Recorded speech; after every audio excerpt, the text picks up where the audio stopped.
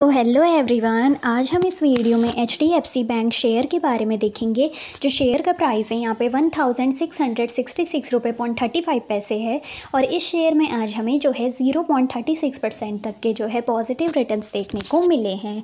आगे हम इस शेयर के वन मंथ के रिटर्न्स की बात करते हैं तो वन मंथ में शेयर ने हमें फोर परसेंट तक के जो है पॉजिटिव रिटर्न्स दिए हैं। आगे अगर हम मैक्स में ऑल टाइम की यहाँ पर बात करते हैं तो ऑल टाइम में शेयर ने हमें thirty seventy four point eighty two percent तक के हमें यहाँ पे इस शेयर के जो है पॉजिटिव रिटर्न्स देखने को मिले हैं। आगे हम इस शेयर के जो है बिट क्वांटिटी और आस क्वांटिटी के बारे में देखते हैं। तो यहाँ पे जो शेयर का बाइंग प्रेशर है, वो तो वन है और जो शेयर का सेलिंग प्रेशर है, वो यहाँ पे सेवन हंड्रेड है। यानी इस शेयर में बाइंग प्रेशर तो यहाँ पे वन है और जो सेलिंग प्रेशर है, वो ज़्यादा देखने को मिला है।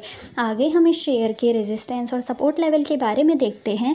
तो इस मंथ तक का जो शेयर का मैक्सिमम टारगेट है यहाँ पे वो one thousand six hundred eighty रुपये के राउंड यहाँ पर रहने वाला है।